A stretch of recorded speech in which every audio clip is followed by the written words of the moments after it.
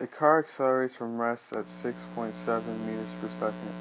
How much time does it need to attain a speed of 6 meters per second? First thing you want to do is uh, identify all your givens. So your initial velocity is going to be 0 because it starts from rest and your acceleration will be 6.7 meters per second squared and your final velocity is going to be the same as the, the speed.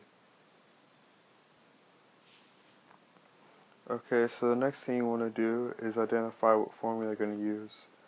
And since this problem has time in it, you're going to use the uh, the first equation. And the first equation is VF equals VI plus A times T.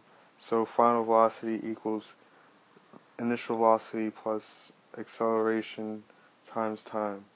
So now we plug in our numbers. Final velocity 6 meters per second. Initial velocity 0 meters per second plus our acceleration 6.7 meters per second squared.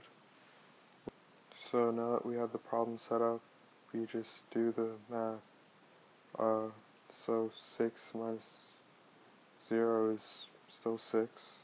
Then you're left with 6 equals 6.7 times t. So you want to get t alone, divide 6 by 6.7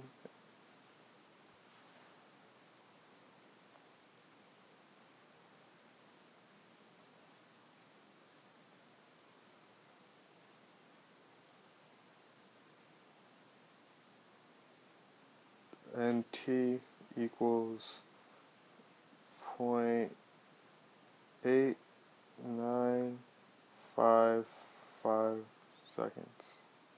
And that's how you do problem number two.